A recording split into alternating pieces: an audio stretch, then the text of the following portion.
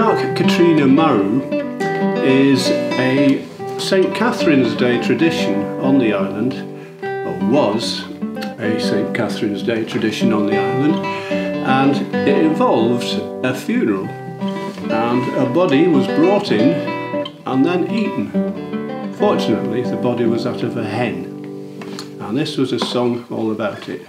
So this tune is based primarily on chord shapes, but they're a little bit unfamiliar. Your first one's okay, there's a C chord.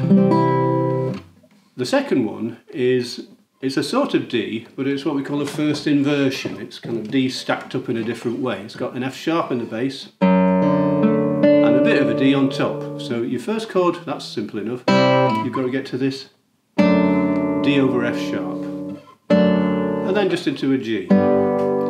So I would practice just playing that change a couple of times. C to D first inversion. And then when you play it, it's just going across the string.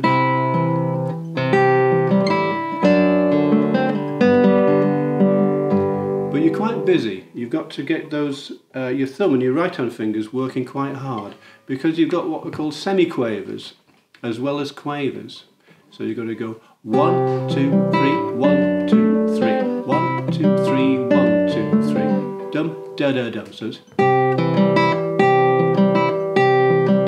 put that together and it goes.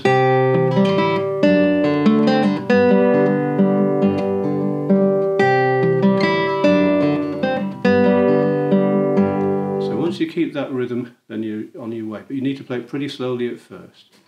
Looking onto the second line, it does change. You've got this first thing, which is what you've been doing. Finger down on a G on string 1 fret 3. That's all you need. Play that again. Remember that rhythm. One, two, three. One, two, and three. And then here's the difficult bit. You've got to go from that to a sort of B minor. Think of B minor chord well, you don't need to put the bar down, you just put the top bits of a B minor with your first finger here, like that. And that gives you access to an open string.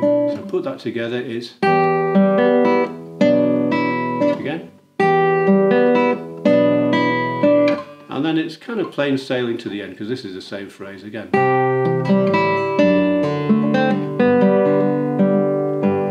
I'll play the whole thing through really slowly so that you've got time to think about what you're doing.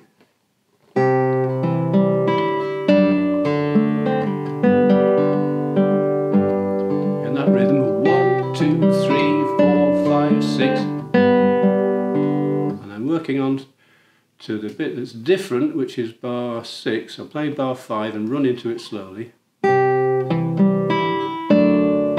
Little finger down, easy B minor, and let's play that bit again. And then this phrase is the same as what you've already done.